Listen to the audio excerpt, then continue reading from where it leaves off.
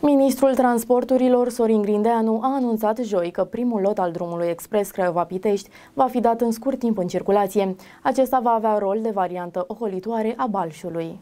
Ministrul Transporturilor Sorin Grindeanu a anunțat joi că primul lot al drumului expres Craiova-Pitești va fi dat în scurt timp în circulație, iar luni va merge pe acest șantier. Primul lot al drumului expres Craiova-Pitești va fi dat în scurt timp în circulație. Luni voi merge pe acest șantier. Antreprenorul lotului 1 al tronsonului 2 a solicitat începerea procedurilor de recepție la terminarea lucrărilor. Acesta va avea rol de variantă ocolitoare a Balșului. Ministrul Transporturilor a mai spus că după deschiderea circulației rutiere, accesul pe acest lot se va face astfel. Pe relația Craiova-Pitești, accesul se face din DN 65 prin sensul giratoriu executat în apropiere de Balș. Pe relația Piteș-Craiova, accesul se va face prin sensul giratoriu, construit pe DN 65 spre localitatea Piatra Olt.